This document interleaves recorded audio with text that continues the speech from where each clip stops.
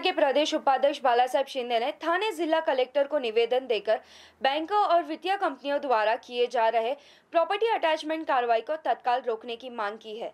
उन्होंने कहा कि लंबे लॉकडाउन और कोरोना से नौकरी और कारोबार प्रभावित है।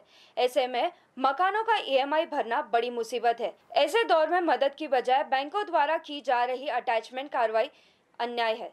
देखे रिपोर्ट कोरोना लॉकडाउन की आर्थिक तंगी के बीच बैंक और वित्तीय कंपनियाँ लोन वसूली के लिए लोगों को बेघर करने में जुटी हैं। मकानों और संपत्तियों का अटैचमेंट किया जा रहा है, जिससे लोन लेने वालों के सामने नई मुसीबत पैदा हो रही है। मनसे सहकार सेना के प्रदेश उपाध्यक्ष बाला साहब सिंधे ने इसके खिलाफ थाने जिलाधिकारी को निवेदन देकर इसे तत्काल रोकने की मांग की है। मनसे नेता ने कहा कि लंबे लॉकडाउन और कोरोना से नौकरी और कारोबार दोनों बुरी तरह से प्रभावित हुए हैं। ऐसे में मकानों का ईएमआई समय पर भर पाना बड़ी मुसीबत है, लेकिन बैंक और वित्तीय कंपनियाँ हैं कि नियमों को दरकिनार कर संपत्तियाँ सील करने और लोगों को बेघर करने में जुटी हैं। उन्होंने सवाल पूछा कि आर्थिक तंगी में लोगों को बेघर करना, जीने का अधिकार छीनना नहीं तो और क्या है? उन्होंने त्वरित कार्यवाही नहीं होने पर मनसे स्टाइल में आंदोलन की चेतावनी दी है। आइए सुनाते हैं उन्होंने क्या कुछ कहा।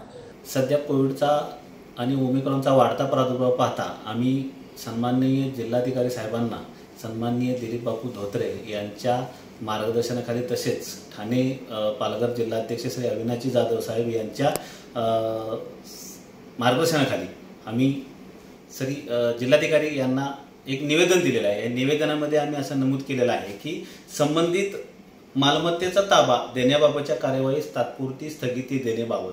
विषय असा आहे की साधारण दोन वर्षापासून कोरोना काळामध्ये सर्वसामान्य नागरिकाचं कंबरड मोडलेलं आहे आणि या परिस्थितीमध्ये आर्थिक परिस्थिती राज्याची असेल लोकांची असेल ही खूप हलाखीची झालेली अशा परिस्थितीमध्ये सन्माननीय जिल्हाधिकारी साहेबांच्या माध्यमातून सरपेसी ऍक्ट सेकंड ऑर्डिनन्स दोन हजार दोनचे कलम चौदा अन्वये.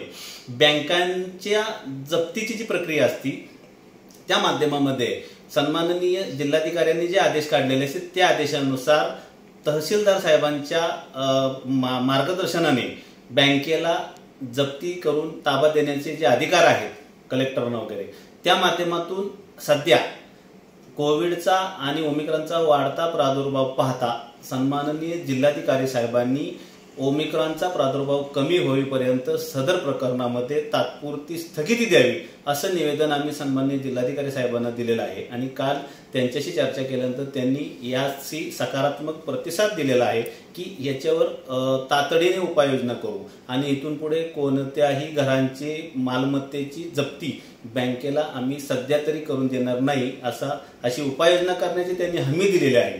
जर समजा तातडीने ही उपाययोजना केली नाही तर आम्ही जिल्हाधिकारी साहेबांच्या दालनामध्ये मनसे स्टाईलने आंदोलन करू आणि अशा प्रकरणात कुणाच्या जप्तीविषयी जबरदस्ती बँकाकडून होण्याचे जर प्रकार आले तर महाराष्ट्र नवनिर्माण सेना ही त्यांच्या पाठीशी ओमिक्रॉन संपेपर्यंत राहील आणि त्यांना मदत करेल अशी ग्वाही देतो. जय हिंद जय Maharashtra. Bureau report TV one India. Latest updates और ताजा तरीन खबरों के लिए टीवी वन इंडिया लाइव को सब्सक्राइब कीजिए और नोटिफिकेशन पाने के लिए बेल आइकॉन को दबाना मत भूलिए।